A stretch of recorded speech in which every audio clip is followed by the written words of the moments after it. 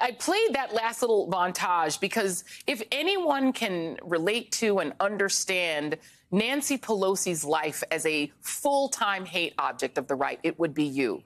And so I wonder if you can just, you know, tell me how the attack on Paul Pelosi struck you and what did it tell you about the state of the right in this country and the hate toward a powerful woman? Well, I think your question uh, kind of answers itself, Joy. Um, there's always been uh, a streak of violence, of uh, you know, racism, misogyny, anti-Semitism, as you said. Um, but I think what we're seeing today, and it has certainly been thrown into very high relief by the horrific attack on Paul Pelosi, uh, is not just an aberration where one or two uh, people or a small group engage in that kind of uh, violent rhetoric and urge people to take action against political figures uh, like her, like me, like others. We're seeing a whole political party and those who support it, those who enable it, those who run under its banner, uh, engaging in behavior that is so dangerous and I find frankly uh, disqualifying for people uh, who are running for office. You know, this uh, midterm election, we've seen a lot of ads by Republicans running for everything, uh, touting crime. Crime is the issue, but when an 82 year old man is attacked by an intruder in his own home, they don't seem to be too bothered by that because that person is married to the Speaker of the House who's of a different political party. I just want your viewers, and really I would like every American, just to stop and think about that. This is the kind of violent rhetoric that leads to violent action that props up authoritarians. And that's unfortunately uh, what we see the Republican Party today uh, supporting.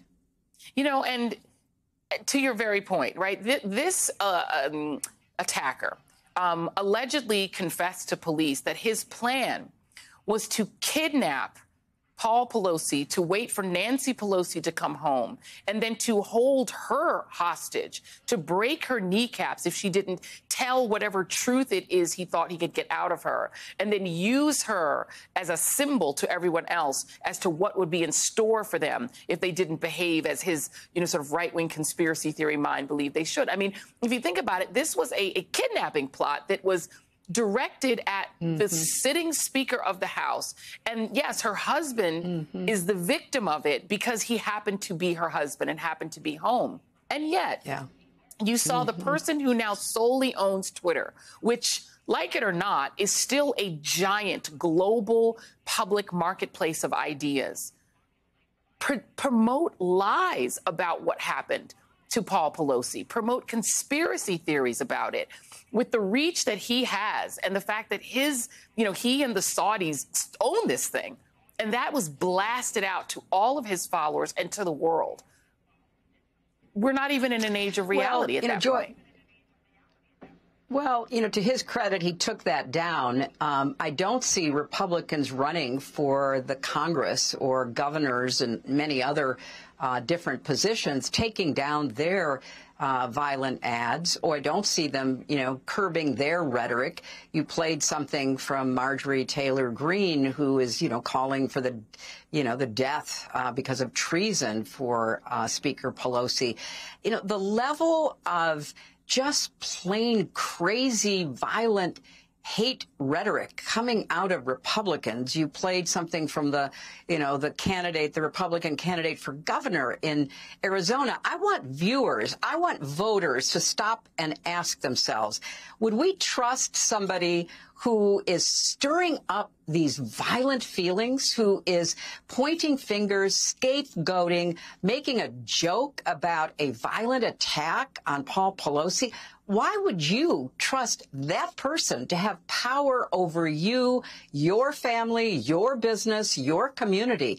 So I want to take this a step further away from the incident, that terrible incident with Paul Pelosi, and broaden it out because what we have with the rhetoric coming from uh, the Republican uh, candidates from their party right now is so disturbing. I didn't see a big outpouring on the part of elected officials uh, to stand with Nancy Pelosi the way she has stood with Republicans as well as Democrats in times of real terror, like on January the 6th. And so ask yourselves, please, why would you entrust power to people who are either themselves unable to see how terrible it is that someone would be attacked in their home or don't really care because they think it will somehow get them votes that will get them elected. This is a real threat to the heart of our democracy. In fact, if uh, Kevin McCarthy were to become Speaker, it's very likely that Marjorie Greene um, would get a gavel that she would get a committee, that people like Lauren Boebert would get committees, that people like Matt Gaetz would be on committees, um, perhaps committees dealing with national security, because he would have to appease them in order to get enough votes to be Speaker at all. Are you concerned that maybe voters are not putting those pieces together, that having a Republican House would mean that the people you're talking about would be even more empowered? That faction would be in power. Well, I think with all of the noise that we've got in this election season, um, I don't think people um, are able to really grasp that. But more importantly, I'm not sure they really understand the threats to their way of life. They may think that whoever's chairing a committee is, you know, kind of abstract. But the Republicans in the House and others, like the chair of the Republican Senate Campaign Committee, are on record saying that they are going to put Social Security and Medicare up for a vote. Now, I don't understand why every American, not just people eligible for those two programs that they have paid into, that they have worked hard for, that they have earned, are not up in arms. You know, we've got lots of problems right now in our country. We need sensible people to come together to try to solve them. The last thing we need is to make life even harder for the vast majority of Americans because it's not just seniors who would have Medicare and Social Security on the chopping block. It would be their children and their grandchildren who would have to step in to fill the hole that would be left by this reckless behavior, this ideological action that the Republicans are promising to take. So there's a whole range of issues. And, you know, sometimes when I tell people that, they say, oh, they would never do that. Well, they told us for 50 years they were going to get rid of Roe v. Wade and turn abortion over to the states where state legislators, local political officials could decide what your health care would be. Why wouldn't you believe them that they are going to go after Social Security and Medicare? I believe them. I take them at their word. You've got everybody, you know, wondering whether it's true. Well, listen to them and watch what they have done and what they say they're going to do. Um, throughout the 2016 campaign, Donald Trump would use lock her up as a call and response to his audience about you. Michael Flynn would repeat it. it uh, I can remember being in the in the convention um, in, in, Cleveland, and it was guttural. The amount of rage directed at you personally. It was very. It felt very mm-hmm. personal when you look at where we've come since then to where Donald Trump's ideology has now taken full root in the Republican Party, Kari Lake laughed at Paul Pelosi, an 82 year old man being beaten mm. um, and concussed uh, by an intruder. And that is now just standard. Are you concerned that our democracy is not going to be able to hold past what you can only describe as fascism, violent politics? And demand for power without elections? Well, I hope that uh, voters uh, really rally in this uh, last week before the midterms to understand fully what's at stake, to not get diverted. Like I said, you know, the Republicans have been talking about nothing but crime. Then when a crime is committed against Paul Pelosi, they could care less. These people do not really believe half of what they say. I served for eight years in the Senate. I know a lot of the people who are still there, and I don't recognize them. And I do know they know better than what they're talking about, but they think that they need to be part of this, you know, right wing move that uh, is uh, unfortunately taken over the Republican Party. So we have a week for people to focus. If you have a candidate in your state who laughs about an 82 year old man being hit with a hammer in his own home, there's something wrong with that person. Why would they want you to laugh with them about a crime?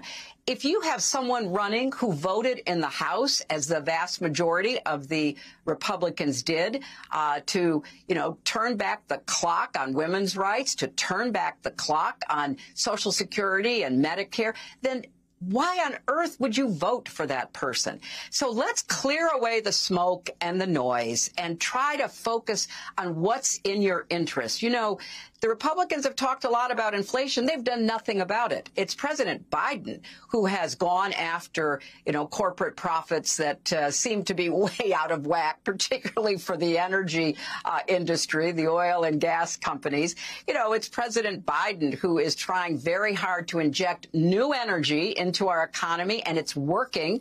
You know, here in New York, where I'm talking to you from, two huge announcements that were in many ways promoted because the Congress, the Democrats, finally passed something called the Inflation Reduction Act.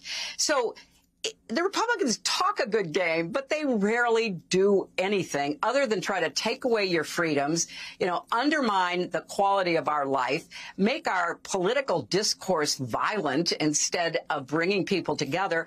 Why reward that behavior? You have a chance between now and next Tuesday to send a very clear message. You know, we want people who don't laugh at a hammer being hit on someone's head. We want people who will help us solve our problems, and we sure don't want anybody getting elected who's going to put Social Security and Medicare on the chopping block.